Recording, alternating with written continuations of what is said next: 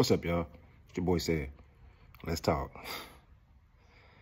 So, I was watching the um, Joe Rogan experience, and um, he was talking about a story that was on there. Real interesting. Check this out, y'all. All girl school in Massachusetts, right?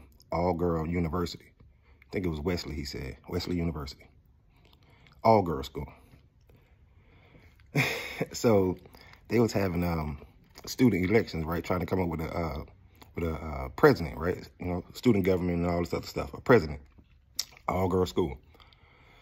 One of the young ladies decided to. She decided that she wants to be a man, or she's going to be a man, and she's going to run for student body president as a male. Now, this is an all girl school, though.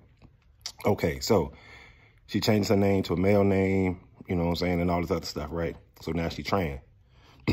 she runs, she wins. She wins. That is the irony. After she wins, they denounce her as student body president because now she's part of the patriarchy.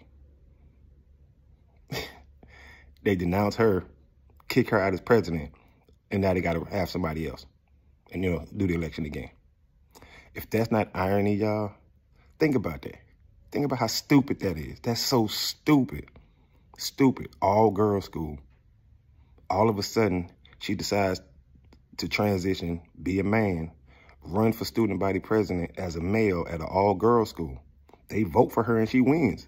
But then they denounce her because she's a male. And as they say, part of the patriarchy. You can't make this shit up. I'm your boy Ced. I'm out of time till the next time. I'm Screaming, let's talk. Peace.